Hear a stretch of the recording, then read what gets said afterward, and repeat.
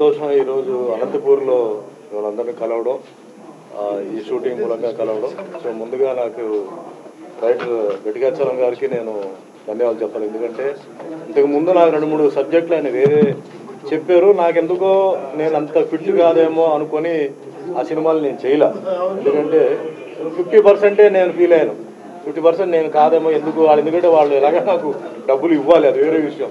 కానీ ఏం ప్రయోజనం? నాకు ప్రయోజనం లేదు వాళ్ళకి ఉండకపోవచ్చు అని చెప్పి నేను చేయలే. బట్ గట్టిగాచలం గారిని ఆ విధంగా నేను ఏమి ఇన్సల్ట్ చేయట్లేదు. It's very good writer very good narrator మంచి మంచి థాట్స్ ఉన్నాయి ఆయనకి మంచి మంచి అప్డేట్స్ లేటెస్ట్ ట్రెండ్ ఏదైతే నడుస్తుందో దాన్ని ఫాలో అవుతుంటారు. ఇప్పుడు నాకు మా మేనేజర్ వెంకట్రావు వచ్చి సార్ ఇట్లా ఇట్లా ఒక సబ్జెక్ట్ ఉంది. అంటే శ్రీనివాస్ గారితో ఆల్రెడీ నేను చేశాను డివోషనల్ పిక్చర్ చేశాను సేమ్ కాంబినేషన్ ఏదో లైన్ చెప్పాలంటే ఒకసారి వినండి అంటే తప్పే ఉంది వింటాను చెప్పేసి నేను లైన్ వినడం జరిగేది.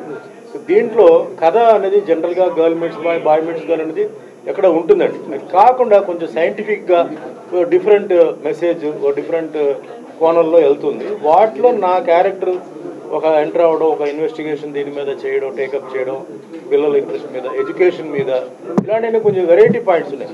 రొటీన్ సినిమా కాకుండా డిఫరెంట్గా ఉంది.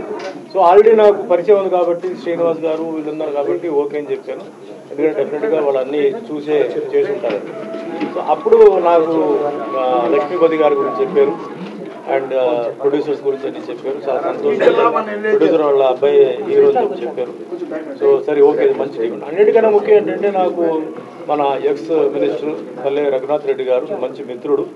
మేము ఇప్పుడు కాదు దాదాపు ట్వంటీ ట్వంటీ ఫైవ్ ఇయర్స్ నుంచి పరిచయం ఉంది. కాకపోతే అప్పుడప్పుడు కలవడం లేదు ఎక్కడైనా ఫంక్షన్స్లో కలవడం తప్ప లేదు. సో ఆయన కూడా ఏంటంటే ఒక మంచి రాజకీయ నాయకుడు ఎంతో సేవలు చేశారు. ఎంతో డెవలప్మెంట్ చేశారు. ప్లస్ ఈ పిక్చర్లో ఆయన యాక్టింగ్ కూడా చేస్తారు ముందుగా ఆయనకి మనస్ఫూర్తిగా నేను అభినందనలు చెప్తున్నాను. ఎందుకంటే జీవితంలో ఎక్కడెక్కడ టర్నింగ్ పాయింట్ వస్తుందో మనం మనం చెప్పలేము సో ఆ విధంగా ఏంటంటే ఒక మంచి క్యారెక్టర్ ఆయన చేస్తున్నారు. డెఫినెట్లీ ఆయన క్యారెక్టర్కి ఎటువంటి ఇబ్బంది ఉండదు. సో డెఫినెట్లీ ఇది బాగానే వస్తుందని నేను ఫీల్ అవుతున్నాను. సో ఈ రోజు కాకపోతే మళ్ళీ ఇంకొక రోజు నాకు షూటింగ్ ఉంది. అంటే యాక్చువల్గా ఒకరోజు ఇవ్వడం కూడా ఏంటంటే కొంచెం టైట్గా షూటింగ్ ఉన్నప్పుడు కాంబినేషన్స్ ఉన్నాయి. మీరు రావాలని చెప్పి చెప్పడంతో నేను రావడం జరిగిందండి. ఇది పక్కన పెడితే నేను నా పర్సనల్ విషయం ఏంటంటే ఇది ఫిల్మ్ ఇండస్ట్రీకి వచ్చి ఇది నా నలభై ఐదో సంవత్సరం.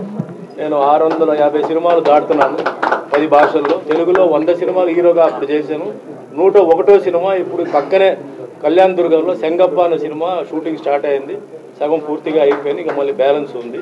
సో ఆ విధంగా ఏంటంటే నాకు సపోర్ట్ ఇచ్చిన నిర్మాతలు దర్శకులు టెక్నీషియన్స్ పాత్రికేయులు అందరికీ నేను పాదాభివందనాలు చేస్తాను ఎందుకంటే ఎక్కడో పుట్టాను ఎక్కడో పెరిగాను అందరూ ఎవరెవరో తెలియదు కానీ ఒక రిలేషన్ లాగా మనం అందరూ ఏంటంటే వర్క్ చేస్తున్నాం ఒక ఫ్యామిలీ లాగా ఒక ఇండస్ట్రీ లాగా చేస్తున్నాం.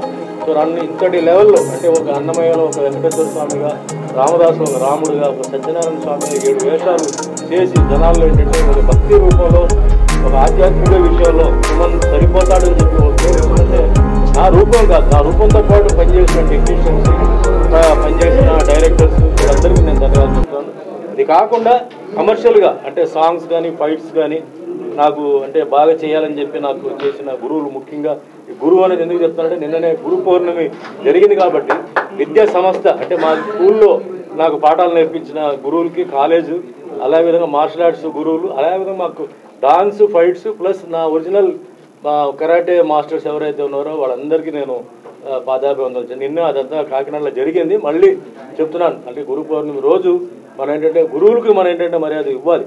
ఎందుకంటే ముఖ్యంగా అమ్మగారు నాన్నగారితో తర్వాత గురు. నాకు తెలిసి దానికి మించిపోయిన శక్తి లేదు. మన ఆ శక్తిని మన జెన్యున్గా మనస్ఫూర్తిగా వాళ్ళ ఆశీర్వాదాలు తీసుకుంటే జీవితంలో మనం ఏదైనా సాధించవచ్చు.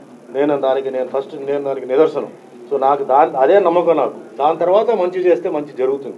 ఆటోమేటిక్. లేకపోతే నలభై ఐదు సంవత్సరాల ఇండస్ట్రీలో ఉండడం ఇన్ని జనరేషన్స్ క్రాస్ అవడం మాట మాట తమాషా ఏం కాదు. సో హక్కుగా అవన్నీ చేశాను. అనుకోకుండా నా ప్రయాణం వెళ్తుంది. సో ఎంతో మంచి మిత్రులు అభిమానులు మనకి అందరూ కలవడం పెద్ద పెద్ద వాళ్ళు ఇలా కలవడం ఈరోజు మీ ముందు మీకు కూడా అందరికీ ధన్యవాదాలు. ఎందుకంటే నా అంటే జీవిత ప్రయాణంలో మీరు అందరూ సహకరించారు సో ధన్యవాదాలు చెప్తున్నాను. ముగించే ముందు కరోనా టైంలో మనకి ఏంటంటే మీ అందరికీ తెలుసు చాలామంది పాపం దురదృష్టం చాలామంది పోయారు. కానీ ఈ టైంలో కరోనా టైంలో మనకి సేవలు అంటే మర్చిపోలేని వ్యక్తులు ఎవరంటే మన దేశాన్ని రక్షించిన సైనికులు. ఎయిర్ ఫోర్స్ ఉండొచ్చు ఆర్మీ ఉండొచ్చు నేవీ ఉండొచ్చు. దాని తర్వాత అసలు నైట్లో లాక్డౌన్ ఉన్నప్పుడు డే అండ్ నైట్ పనిచేసిన పోలీస్ అధికారులు మహిళా పోలీసు ఉన్నారు. వాళ్ళు వాళ్ళకి ఫ్యామిలీస్ ఉన్నాయి. అయినప్పటికీ వాళ్ళు వచ్చి మనకు సేవలు చేశారు. దాని తర్వాత రైతులు మనం తినడానికి మనకి అన్నం కావాలంటే వాళ్ళు ధైర్యంగా వెళ్ళి వాళ్ళు సైనికులాగా వాళ్ళు వెళ్ళి పనిచేశారు. కరోనా ఉన్నప్పుడు. దాని తర్వాత ముఖ్యంగా డాక్టర్లు నర్సులు. మరణం అసలు హాస్పిటల్లో చుట్టూ తిరుగుతుంది తెలిసిన తర్వాత కూడా అంటే బంధువులు మిత్రులు కూడా దగ్గర రావడానికి లేదు చెప్పినా కూడా బంధువులు మిత్రుల కన్నా వీళ్ళు ఏంటంటే ఆ టైంలో చాలా ముఖ్యంగా వాళ్ళు ధైర్యంగా వచ్చి మనకి సేవలు చేశారు. వాళ్ళు మనం మర్చిపోకూడదు. అసలు స్పెషల్ స్టేటస్ ఎవరికి ఇవ్వాలంటే వీళ్ళకే ఇవ్వాలి. ఎవరైతే కరోనాలో వాళ్ళ జీవితం వాళ్ళ ఫ్యామిలీని మర్చిపోయి ఎవరైతే మనకి చేశారో నేను అడుగుతున్నాను వాళ్ళకి ఫస్ట్ స్పెషల్ స్టేటస్ ఇవ్వాలి. డబ్బు ఇచ్చేసి వాళ్ళని పంపించడం అది కరెక్ట్ కాదు.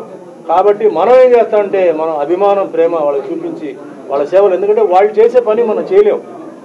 వాళ్ళు చేసిన పని మనం ఎప్పటికీ మనం చేయలేం. అంత ధైర్యం ఎవరికి లేదు. వాళ్ళ గుర్తు నేను చెప్తాను. వాళ్ళు చేసిన సేవలు వాళ్ళు ఇస్తున్న ధైర్యం ఎవరికి లేదు. సో వాళ్ళు మనం మర్చిపోకూడదు వాళ్ళందరూ మనం గౌరవించాలి. అదే మాదిరిగా అసలు అందరూ బాగుండాలి సినిమా ఇండస్ట్రీ బాగుండాలి అండ్ ఇక్కడ షూటింగ్లు అప్పుడప్పుడు జరగాలి. సో షూటింగ్స్కి ఇక్కడ ఏంటంటే సరిపోయేటట్టు ఏంటంటే అంటే పర్మిషన్స్ కానీ కొన్ని అంటే హెల్ప్ ఆ విధంగా ఏంటంటే గవర్నమెంట్ నుంచి రావాలి. తప్పకుండా అనంతపూర్ కూడా. ఎందుకంటే ఇక్కడ ఉన్న వాతావరణం ఇది ఒక డిఫరెంట్ బ్యాక్గ్రౌండ్.